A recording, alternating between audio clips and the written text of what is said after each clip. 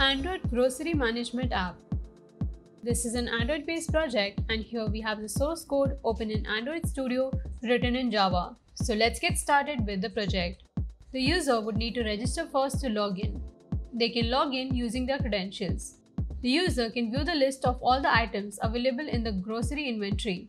They can also add or update the items in the inventory.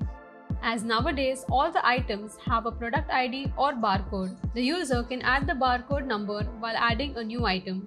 It will help them scan the products directly when they want to update their inventory.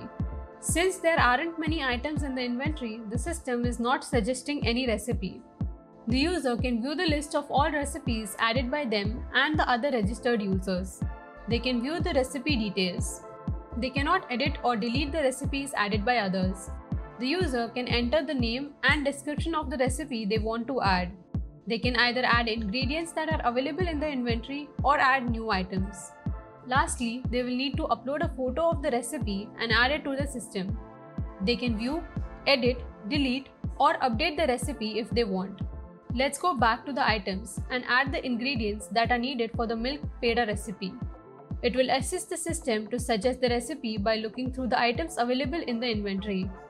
The system will check for a minimum 60% match of the ingredients available in the inventory to suggest a recipe.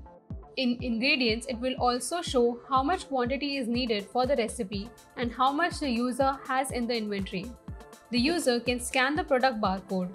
If that item is available in the ingredient list, they can update it or else the system will ask them to add it to the list. Here, the user can manage the items they want to shop from the inventory.